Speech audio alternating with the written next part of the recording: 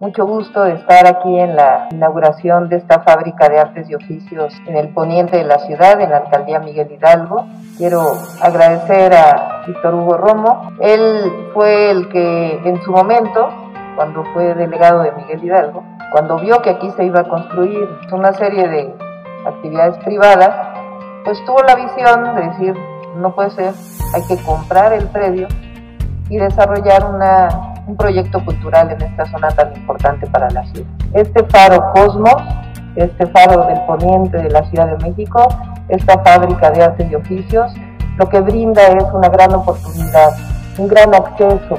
a la cultura y a los grandes derechos culturales que requiere esta ciudad. Su servidor está muy muy contento el día de hoy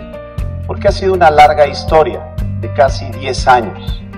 de un espacio que iba a ser de uso y usufructo privado, un centro comercial con una funeraria, a hoy un espacio que se le va a entregar a la comunidad y que va a ser de uso y de goce público. Hoy el faro Cosmos eh, se convierte en el más importante centro cultural